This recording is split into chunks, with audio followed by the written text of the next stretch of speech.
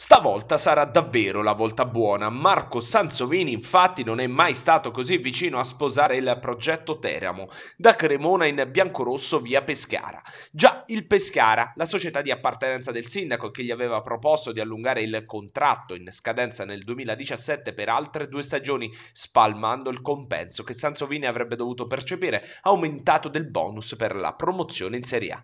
Una proposta valutata con attenzione dal centravanti che si è preso qualche giorno di di tempo per riflettere e decidere se quella fosse la soluzione migliore per lui. Ieri l'accelerata, con i contatti sempre più insistenti nel corso di una giornata frenetica nella quale Sansovini fa sapere che per lui è tutto a posto, non ci sono problemi e aspetta di poter vestire il biancorosso, col Teramo che nel frattempo aveva annunciato da poche ore Luca Forte, già in ritiro Dovindoli. Oggi pomeriggio a Pescara incontro tra il giocatore il suo agente, la società biancazzurra e il Teramo, che in questi giorni era rimasto alla alla finestra con l'attaccante che aveva dall'inizio comunque detto sì alla proposta della società del presidente Campitelli.